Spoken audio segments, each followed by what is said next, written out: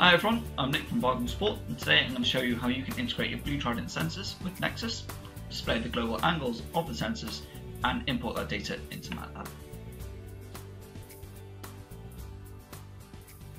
To connect the sensors to Nexus you'll also need a supported Bluetooth dongle and to transfer data off the sensors into Nexus you will need the cradles as well as a micro USB cable.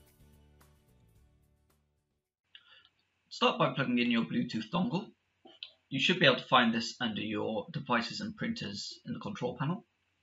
If you find that there is a yellow warning triangle, similar to this one, it probably just means that the dongle drivers need to be updated and you can do that by right clicking and going through the troubleshooter. Once the Bluetooth dongle has been connected to your PC, open up Nexus and then just go and click Go Live. In your system tree, right click Devices and select Modify Whitelist and you should find that your sensors are listed in this dialog box. Highlight your sensors and then just click check selected. And once you click OK, you can see that they populate your system tree. As soon as they go green, it means that they are connected and streaming data. And you should also notice in the 3D workspace, the axes of the sensors are now displayed. I've stuck both of my sensors to my notepad so that they're in the same plane with the same orientation. And as you can see, when I rotate my notepad, those axes are also rotating in real time. I've already set up my database here, so I can just go ahead and click Start. Do some rotation along each axis. And when I'm happy with that, I can just click Stop.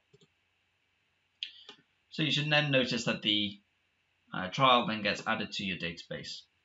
The next thing to do is to transfer the data off the sensors. And if you just go to the iMeasureU tab, you should see that the trial is now being listed. So I plug in the first sensor.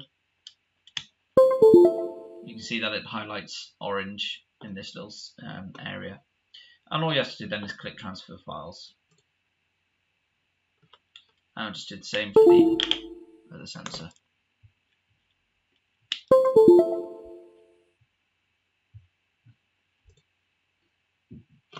There we are. Now when I go back to my data management, I can open up that trial and I can begin my playback. And I can also change this to a graph view just to see those outputs. This is one, and I'll just select both of them at the same time. And they should of course be similar since they were stuck together in the same plane.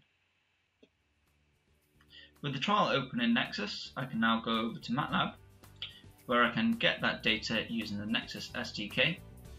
And here I have a short script which plots the XYZ components of both of those sensors connected during that trial.